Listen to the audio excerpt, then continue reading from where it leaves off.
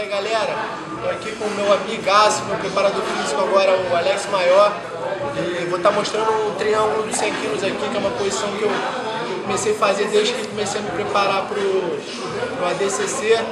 Beleza? Espero que vocês gostem. Beleza, estou aqui no 100 quilos. Sempre os dois joelhos colados aqui no quadril, pegada firme aqui. Agora eu vou começar a trabalhar para botar esse braço dele aqui no chão, para começar a entrar o meu joelho.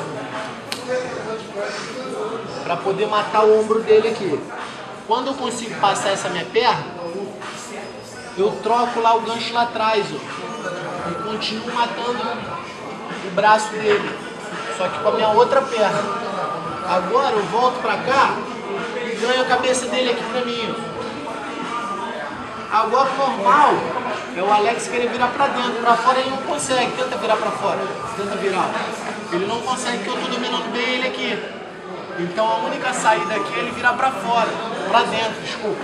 Começa a virar pra dentro. Quando ele começa a virar, eu vou cair, sentando, jogando essa minha perna aqui, ó, a parte posterior do meu rosto, eu vou entrar aqui, ó, bem na, na, na, na nuca dele. Então eu vou fazer isso, ó.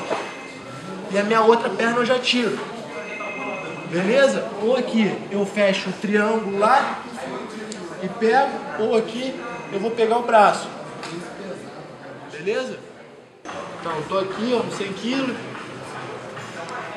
Matei aqui, o braço dele foi o joelho. Troquei lá.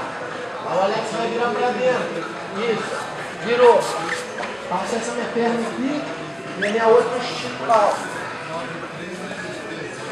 puxar na minha canela ou saco o braço. Se ele por um acaso na igreja, jogar o braço para lá,